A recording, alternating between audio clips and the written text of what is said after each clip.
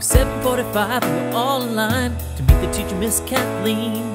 First was Kevin, then came Lucy, third in line was me. All of us were ordinary compared to Cynthia Rose.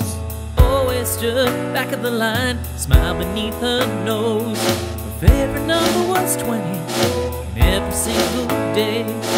If you ask her what you had for breakfast, this is what she'd say Starfish and coffee, maple syrup and jam, butterscotch clouds, tangerine, side order of ham. If you set your mind free, baby, maybe you'd understand. Starfish and coffee, maple syrup and jam. Cynthia wore the prettiest dress with different colored socks.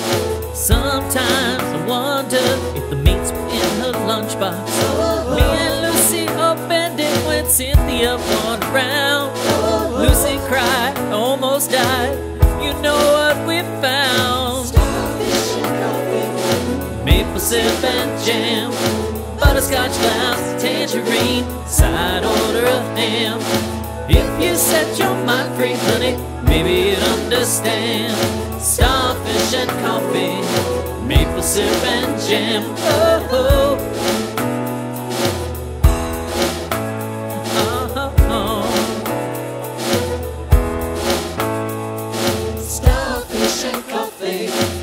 Cynthia had a happy face, just like the one she draws on every wall in every school.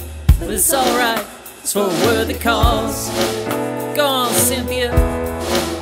Keep singing starfish and coffee, maple syrup and jam, butterscotch clouds to tangerine, side order of ham.